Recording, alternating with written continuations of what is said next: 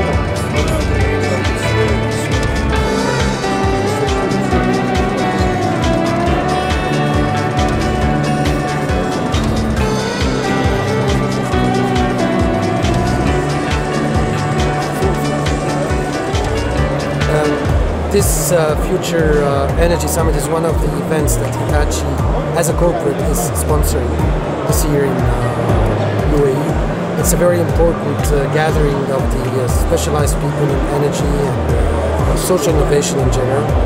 We're very interested in, in, offering solutions to customers in this field. And so my coming here is to mainly receive the guests and also for me to know what's going on with other companies in, in this part of the world. And one of our main missions in, in, uh, in, the Middle East is to promote our social innovation uh, solutions.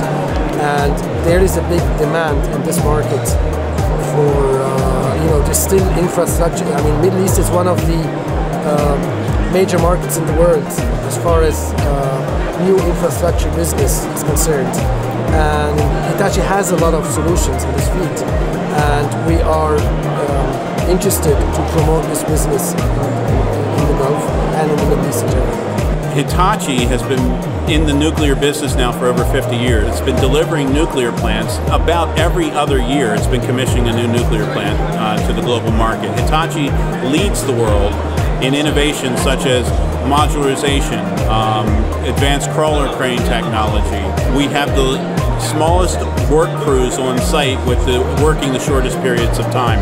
Our, the time it takes us to build and deliver a nuclear plant and deliver it to the market is half the time of any of our closest competition in the world.